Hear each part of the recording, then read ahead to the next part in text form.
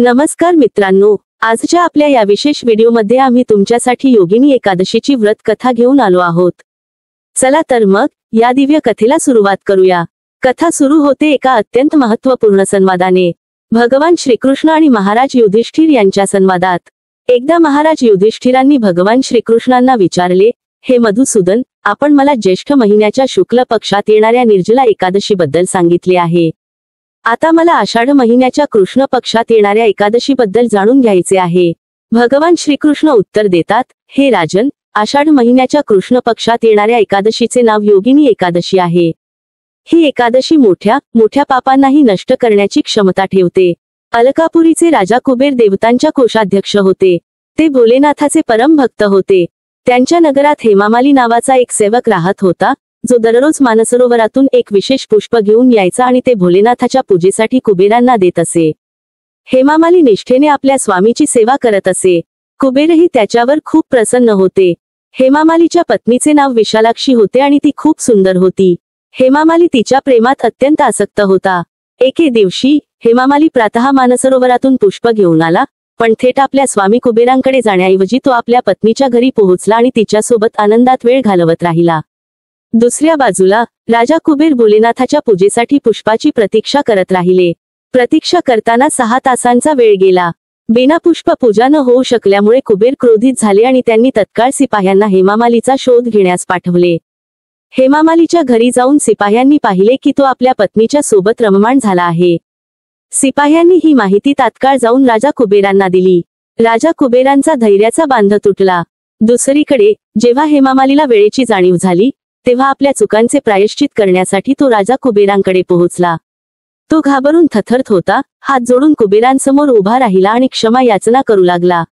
पण कुबेर अत्यंत रोषाने म्हणाले हे मूर्ख तू महापापी आहेस. आपल्या पत्नीच्या आसक्तीमुळे तू आज माझ्या आराध्य देव भोलेनाथाचा अपमान केला आहेस. म्हणूनच मी तुला शाप देतो की याच क्षणी तुझा पतन होईल. तुझे संपूर्ण शरीर कोडाने ग्रस्त होईल. तू पृथ्वीवर आपल्या कर्मांची शिक्षा भोगशील आणि आपल्या पत्नीपासून सदैव दूर राहशील. कुबेरांच्या शापामुळे हेमामालीचे तत्काळ पतन झाले आणि कोडाने ग्रस्त झालेल्या शरीरासह तो पृथ्वीवर कोसळला. भूक तहानाने त्रस्त आपल्या शरीराच्या वेदनेने व्याकुळ तो जंगलात भटकू लागला. अनेक वर्षे त्याने ही यातना सहन केली पण भोलेनाथाच्या उपासनेत त्याने शुद्ध आणि सात्विक राहण्याचा प्रयत्न केला. एका दिवशी तो एका पर्वतावर पोहोचला जिथे ऋषी मार्कंडेय तपस्या करत होते.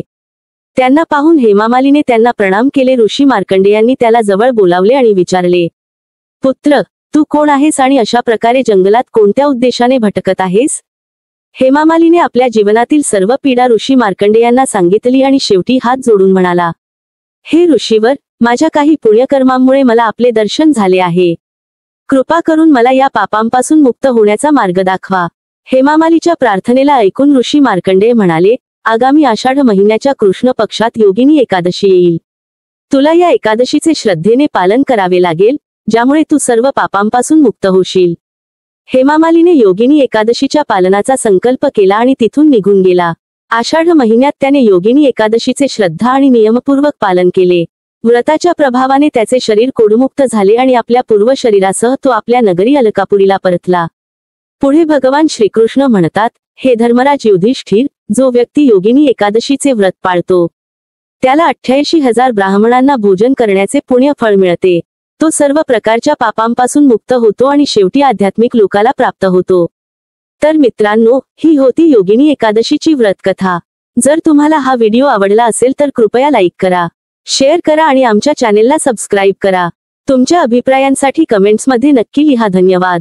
जय श्री हरी विष्णू.